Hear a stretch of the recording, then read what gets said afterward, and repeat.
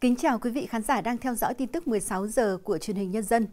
Thưa quý vị, Ủy ban nhân dân tỉnh Hải Dương vừa ra văn bản tăng cường một số biện pháp phòng chống dịch COVID-19 trong dịp Tết Nguyên đán 2022.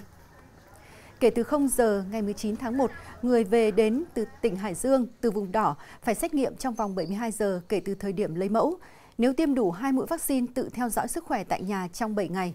Nếu tiêm chưa đủ 2 mũi vaccine hoặc mũi cuối cùng chưa qua 14 ngày, thực hiện cách ly 14 ngày và xét nghiệm vào ngày thứ nhất, ngày thứ bảy. Người về từ vùng cam tự theo dõi sức khỏe trong 7 ngày. Người về từ vùng vàng tự xét nghiệm. Vào dịp trước và trong Tết Nguyên đán, tình trạng vi phạm lâm luật chặt cây mai rừng về làm cảnh diễn ra rất phức tạp.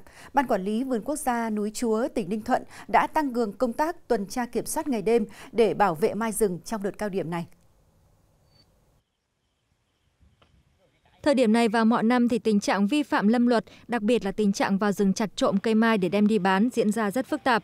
Ban quản lý vườn quốc gia núi Chúa đã tăng cường công tác tuần tra kiểm soát, lập nhiều tổ chốt chặn cố định tại các tuyến đường trọng yếu để kiểm soát người ra vào khu bảo tồn.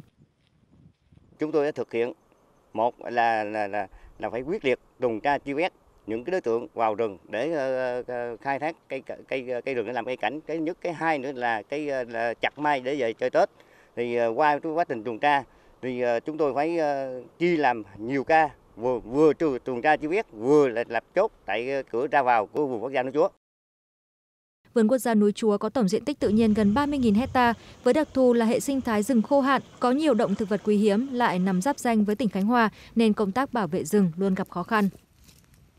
Chúng tôi là tăng cường trong cái công tác mọi mặt tuần tra bảo vệ rừng, bảo vệ tài nguyên biển, rồi lập các chốt, các chốt chặn để mà giữ cho bằng được các các các các, các chống cái, cái, cái vụ việc mà xâm hại đến tài nguyên rừng. Nhờ triển khai có hiệu quả công tác bảo vệ rừng nên tình trạng khai thác chặt mai rừng về chơi Tết tại vườn quốc gia núi Chúa đã giảm đáng kể. Nhân dân sống trong vùng đệm có ý thức hơn trong công tác bảo vệ rừng, góp phần giữ gìn tài nguyên quý giá của rừng, bảo vệ môi trường sống. Thời điểm cuối năm, tình hình buôn bán hàng cấm, đặc biệt là pháo nổ qua khu vực biên giới lại diễn biến phức tạp. Các đối tượng thường lợi dụng các đường tiểu ngạch để đưa hàng từ bên kia biên giới về. Cơ quan chức năng đang tăng cường các hoạt động nghiệp vụ nhằm ngăn chặn tình trạng này.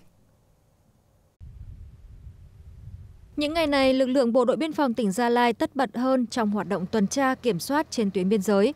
Việc bố trí lực lượng cơ động tại các chốt và địa bàn trọng điểm đã phát hiện thêm nhiều vụ việc và ngăn chặn kịp thời các trường hợp vi phạm đơn vị đã phối hợp với lại lực lượng công an huyện để xây dựng cái kế hoạch liên ngành đấu tranh phòng chống tội phạm và các cái loại vi phạm pháp luật khác ở trên cái khu biên giới. Liên tục trong những ngày cuối năm 2021, lực lượng Bộ đội Biên phòng tỉnh Gia Lai đã bắt giữ hàng loạt vụ vận chuyển pháo trái phép tại khu vực biên giới với khối lượng trên một tấn. Các đối tượng thường xuyên sử dụng các phương tiện cơ giới tổ chức vận chuyển số lượng lớn.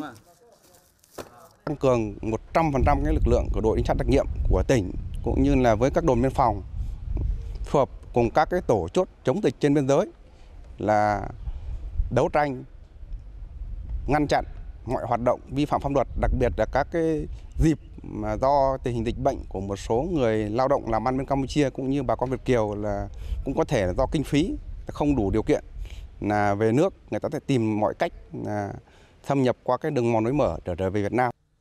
So với những năm trước, tình trạng buôn bán hàng cấm đặc biệt là pháo nổ, dù đã giảm nhưng vẫn diễn biến phức tạp.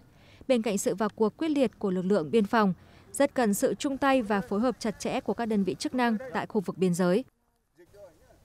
Tiếp theo là những tin tức về tình hình an ninh trật tự. Ngày 17 tháng 1, Tòa án Nhân dân tỉnh Kiên Giang xét xử sơ thẩm tuyên phạt Dương Hoàng Hà, chú tại huyện U Minh Thượng, tỉnh Kiên Giang 8 năm tù về tội tàng trữ lưu hành tiền giả. Thông qua mạng xã hội Facebook, Dương Hoàng Hà lấy 2 triệu đồng tiền Việt Nam thật mua được 20 triệu đồng tiền giả loại mệnh giá 500.000 đồng rồi dùng tiền giả xen lẫn với tiền thật.